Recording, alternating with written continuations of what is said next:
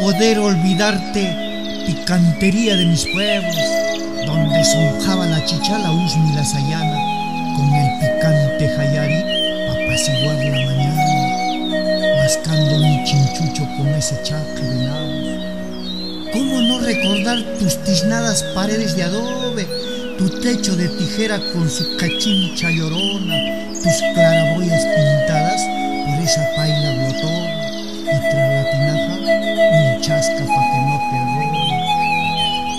tus chombas de chicha llenas y con espuma,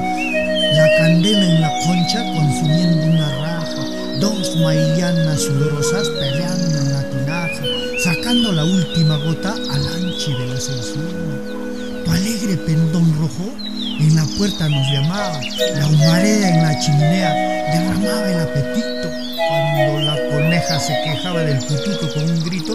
mientras el carcoso gato concheo miraba. ¿Cómo voy a olvidar al huinco jalando el concho y cuando soplabas la teje con esa larga putura? A la cuchara de palo mediando el ocro para la mula y al onco encapichado con su chalina y su concho y la hermosa picantera con sus trenzas mal peinadas, siempre carajeando mientras la bota gorda sudaba, silbando su triste a de batán